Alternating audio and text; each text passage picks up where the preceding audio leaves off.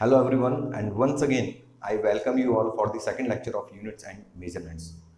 बच्चों first lecture में हमने क्या देखा था, उसको एक बार हम रिकैप कर लेते हैं। फ़र्स्ट लेक्चर में we have seen that what are physical quantities तो physical quantities are those quantities which can be measured right then physical quantities को हमने दो पार्ट्स के अंदर हमने देखा that fundamental quantities and derive quantities तो fundamental quantities are those quantities which cannot be express into more simpler form But if we talk about the derived quantities, then they can be expressed in the terms of fundamental quantities.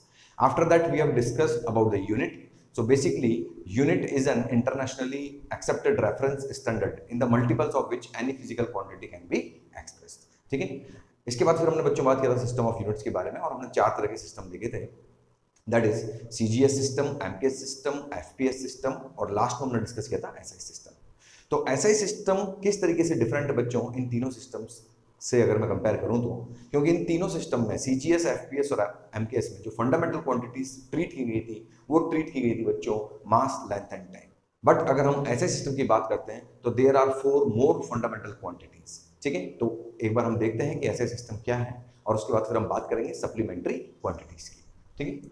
तो बच्चों, ऐसा ही system तो ऐसे system के अंदर बच्चों कौन कौन सी क्वांटिटीज हैं? लेट्स सी लेंथ है मास है time electric current amount of substance temperature and this is luminous intensity okay? Now we will write their respective SI units. Length this is meter. Mass it is kilogram. It is kilogram. Time second electric current. Ampere amount of substance. Mole temperature. Kelvin and luminance intensity is candela now their respective symbols so m this is kg second capital a mol capital k and this is c so these are seven fundamental quantities which are present in SI system. Apart from these, there are two more quantities which are known as supplementary quantities. So so, बच्चों यहाँ पर supplementary quantities कौन कौन सी होती हैं? तो supplementary quantities ठीक है? तो सप्लीमेंट्री क्वांटिटीज में सबसे पहले प्लेन एंगल राइट इट्स ऐसा unit is radian symbol is R D R A D then second it is solid angle steradian and symbol is ठीक है बच्चों? So in this S system there are seven fundamental quantities ठीक है, जो कि आप यहाँ पर देख सकते हैं and apart from this two more supplementary quantities आती है ठीक है plane angle and solid angle now we will understand that what what is plane angle and what is solid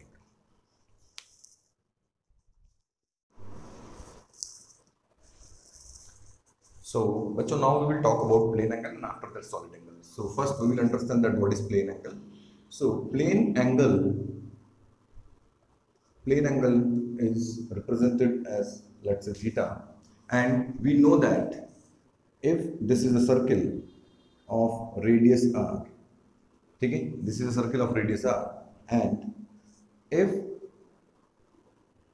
this arc if this arc that is of length l if this arc is subtending an angle theta at the center of this circle then this theta is known as the plane angle and it is expressed as the length of the arc upon the radius of the circle. Okay? Or you can say the length of the arc can be written as L equal to R theta. Right?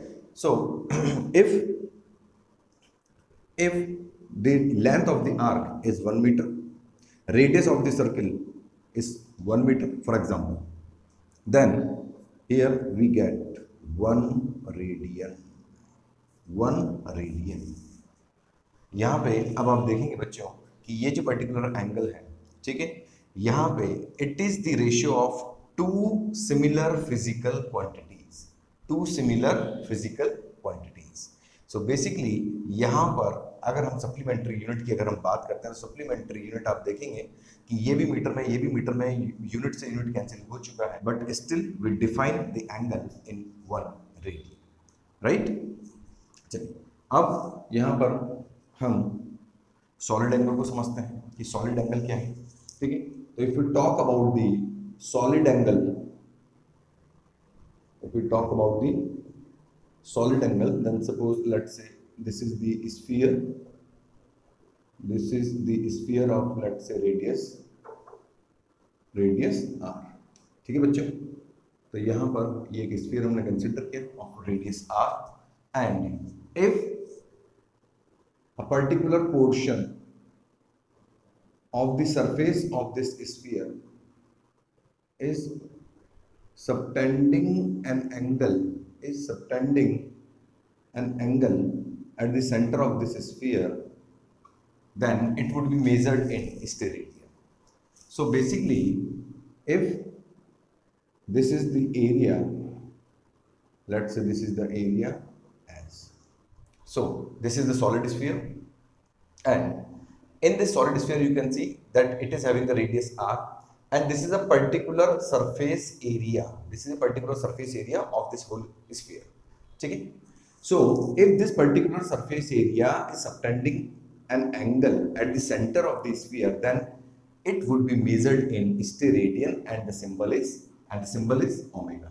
So here it is expressed as omega is equal to s upon r square. If somehow the surface area is let's say 1 meter square for example, if radius is 1, then the value of this angle is 1 steradian. 1 steradian. So here we can say or we can define the 1 steradian. 1 steradian is the angle subtended at the center of the sphere by the portion of the surface area of the sphere which is equal in magnitude to the square of the radius of that sphere right so this is one steradian okay so in the similar manner we can define the one radian that one radian is the angle which is subtended at the center of the circle by an arc whose length is equal to the radius of that circle right okay अब यहाँ से हम आगे move करते हैं कि आगे हमको क्या समझते हैं सो बच्चों this is our next topic that is dimensions dimensions को समझने से पहले अब हम ये चीज़ अच्छी तरह से जानते हैं that each and every derive quantity can be expressed in the terms of fundamental quantity तो सिंपल अगर डायमेंशन के लिए अगर मुझे एक स्टेटमेंट लिखना हो कि डायमेंशन क्या है तो यहाँ पर we can write that dimension that dimension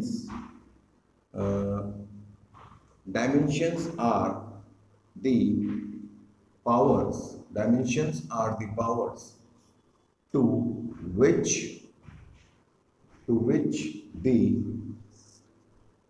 fundamental to which the fundamental quantities are raised are raised to express to express a given physical quantity ठीक है तो क्या है डायमेंशंस तो डायमेंशंस बेसिकली पावर है ठीक है so dimensions are the powers to which the fundamental quantities are raise to express a given physical quantity ठीक है, इसको एक एग्जांपल से हम समझ लेते हैं. से एक एग्जांपल हम लेते हैं सिंपल सा. फोर्स का ले लेते हैं. ठीक है mass into acceleration now further it can be express as v upon t और further it can be express as upon t now you can see that we have broken this particular force into the into the terms of fundamental quantities तो बच्चों, अब हम देखते हैं कि जो dimension उसको रिप्रेजेंट किस तरीके से करते हैं। तो फ़र्स्ट ऑफ़ ऑल जो डायमेंशन होती है, उनको हम रिप्रेजेंट करते हैं बच्चों स्क्वायर ब्रैकेट क्या है ठीक है? आफ्टर दैट डायमेंशन अगर सपोज़ कीजिए, मैं मास की बात करता हूँ। ठीक है? तो मास की जो डायमेंशन होगी, वो होगी कैपिटल एम लेंथ की अगर हम बात करते हैं तो लेंथ की डायमेंशन एल टाइम की अगर बात करते हैं तो टाइम की डायमेंशन कैपिटल टी अगर हम करंट की बात करते हैं तो करंट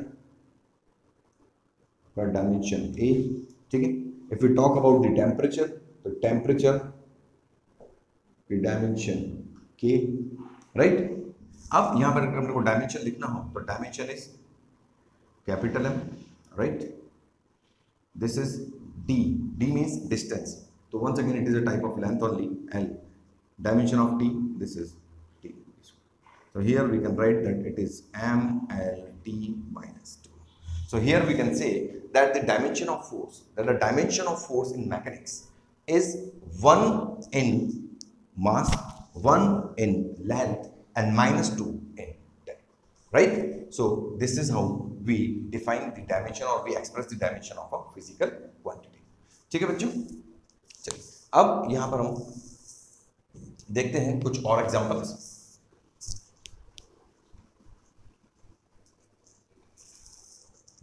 सपोज़ कीजिए, मैंने बात की आपसे लट से। हाइट के बारे में बात किया। रेडियस राइट डिस्प्लेसमेंट ठीक है? विड्थ ठीक है? तो all these all these quantities basically representing a type of So, the dimensions of all these particular quantities is capital L. ठीक है? Now if you take the example of let's say density for example density density can be written as mass upon mass upon volume right तो dimension of mass can be written as M volume that is suppose कीजिए length into breadth into height ठीक है? But breath भी एक तरह से length है height वो भी एक तरह से लेंथ है। तो here we can write that it is L into L into L it can written as M और एल माइनस ठीक है? Then if you talk about the let's say volume then volume suppose कीजिए volume आपने ले लिया let's say किसी sphere का volume आपने ले लिया तो four upon three pi r cube ठीक है? Four upon three pi is a constant term ठीक है? Now r what is r तो r is a type of length only So here once again, we can see that the dimension of volume is 3 in length. Now suppose if we consider a volume of uh, let's say cone. So the volume of the cone is 1 upon 3 pi r square h. So here 1 upon 3 pi once again it is a constant term r square h. So length length so here we can say that it is L. So here the dimension is L. Okay? So these are the particular dimensions. If Q L into B into H. So once again the dimension is. So it is interesting to note that the dimension, that the dimension of a physical quantity remains unchanged. It means it is unique, irrespective of the formula, irrespective of the formula you are using for that physical quantity. Right? चलिए अब आगे और हम देख लेते हैं बच्चों यहाँ पे और कुछ एग्जांपल्स ले लेते हैं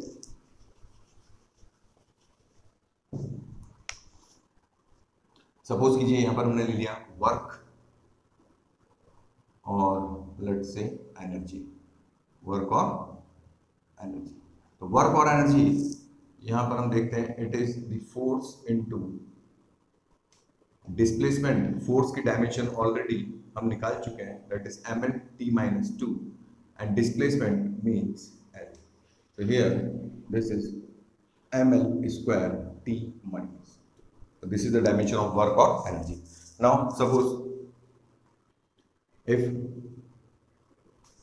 we want to calculate the dimension of power, then power can be written as work upon time, right? Work या energy का dimension आप ऊपर निकाल चुके हैं. That is ml square t minus 2 upon t. t means t. So here ml square t minus 3. So this is the dimension of power. Now the dimension uh, let's say pressure that is force upon area force ka dimension already we have calculated mlt minus 2 that is l square so m l minus 1 t minus 2 is the dimension of pressure okay in the same way we can calculate the dimension of say gravitational constant uh, let's say g equal to f r square m1 m2 I hope सभी लोगों ने ये formula देखा हुआ है ठीक है? It is the universal law it is the expression of universal law of gravitation ठीक है?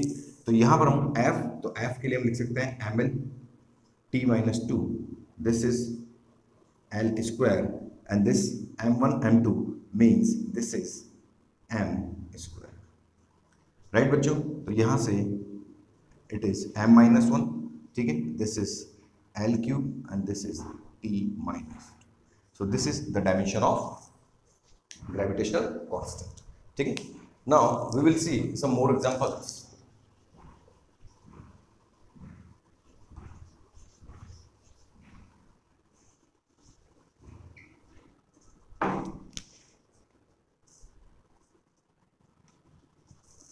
Now we will talk about some angular quantities. So angular quantities, let's say first quantity, let's say angular displacement. Angular displacement theta.